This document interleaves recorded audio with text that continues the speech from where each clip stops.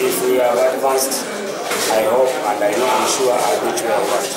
Yeah, I have uh, players who can play uh, these two tournaments, the league and uh, the Uganda Cup. So they are capable.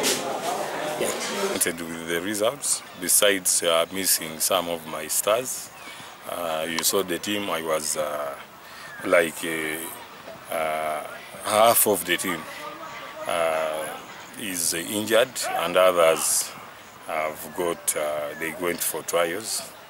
Uh, madondo is injured out for two months. Uh, isaac isinde went for trials. Mwaufaizo injured amaku injured kawaulo injured